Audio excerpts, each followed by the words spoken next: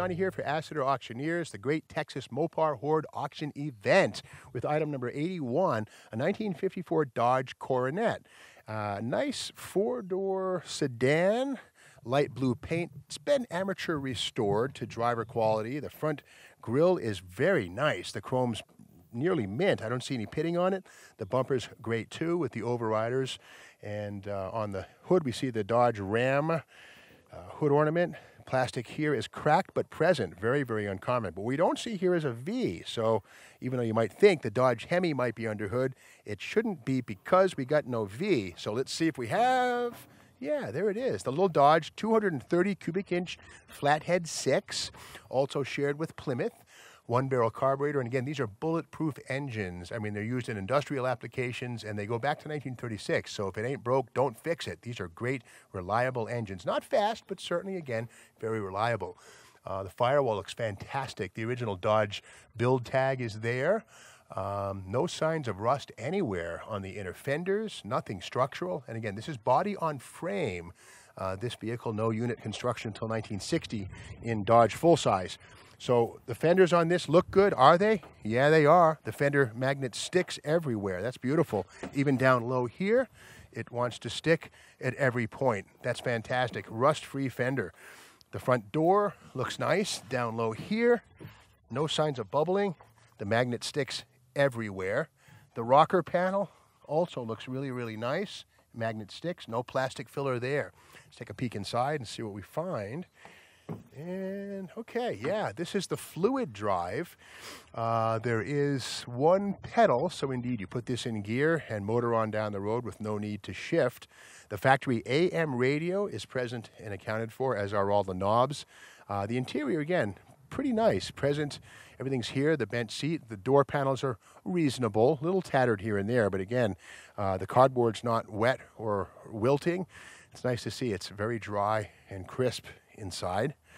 And again, this is a four-door sedan, so it has full door frames, no hard tops in the Dodge four-door line for another year or two. The rear door is in nice shape. I love the little vent window here. Open it up, get some cool air in the back. Down low, I don't see any signs of rust at all. On the door and on the rocker, however, the rear quarter panel right there, we do see a little bit of bubbling. Let's see if it sticks. Yeah, the magnet sticks. So that's first generation rust kind of coming through. I mean, it'll be years before that's really an issue, but there it is, kind of getting started a little tiny bit.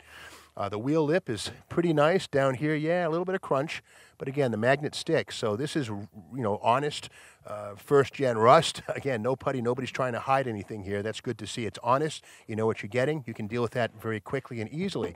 Quarter panel extensions down here. That is wonderfully rust free. That's mint magnet sticks everywhere. That's all steel. Nobody's been in there to doctor it. Again, a Dodge Coronet. There is the model line right there. Of course, would go on later into the 60s, the Coronet Super Bee, etc. But this is the rather humble beginning. Real bumper is in nice shape. The uh, overriders are an option. The tail panel here is looking fantastic. No dents, no filler, none of that kind of stuff. And on the deck lid, I do see this V8 PowerFlite. This emblem is from another application. This is a six cylinder car. It does have the PowerFlite, but the V8 part, uh, not the case here. The deck lid might have been replaced from another car or the emblem added. Don't know. Inside the trunk, nice spare tire, radials. Uh, the trunk floor looks pretty decent. Yeah, that's not so bad. I mean, I see metal. I don't want to rip on the uh, rubber floor mat, but again, it looks to be in pretty good shape. Uh, looks like a spare drum brake or something right there. Moving around to the passenger side, down low, it looks, once again, looks really, really solid. The magnet sticks beautifully everywhere, so there's no rust going on here. Unlike the other side, this has actually escaped the ravages of rust without any problems at all. That's fantastic. Nice rust-free metal. Uh, right here, yeah, more bubbles. This must be a trouble spot on these vehicles. Again, this magnet will stick, so this has not been doctored. That's uh, first stage rust, if you will. Uh, years before that pops through, but, but there it is. Bottom of the door is mint, so is the rocker down low. Magnet sticks everywhere. That's really good to know. Uh, down low here, the door is in good shape. Let's pop that door open. This one doesn't, so let's pop this one here and look inside again. The back seat has the original upholstery. Rubber floor mat. That stuff is factory, not the little square things, but the uh, part over the tranny tunnel, the drive shaft tunnel. That is the factory rubber floor mat. No carpeting on the base level coronet. Uh, but nice, nice uh, original car. A couple of weeks of elbow grease, just clean it up, wash it out, mechanically uh, run through it, and this would probably be a very nice running, driving car. Let's continue our search on the driver's side door. It's, we're hunting for rust. And sorry, we don't find it. That's good news.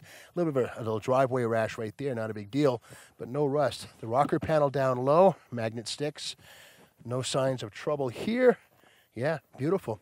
And wrapping it up with the front fender, let's wipe the dust away and yeah, that's solid. A couple of little, these little dots here, these are years and years away from blossoming. That's solid, but these little zits right here uh, might be corrosion coming from the outside. But again, that's solid. Good stuff. And we follow up here. The wheel lip is beautiful. No filler at all. This fender is great. All metal here. No signs of accident, damage, or repair. So that's the story of item 81, a 1954 Dodge Coronet six cylinder four door sedan.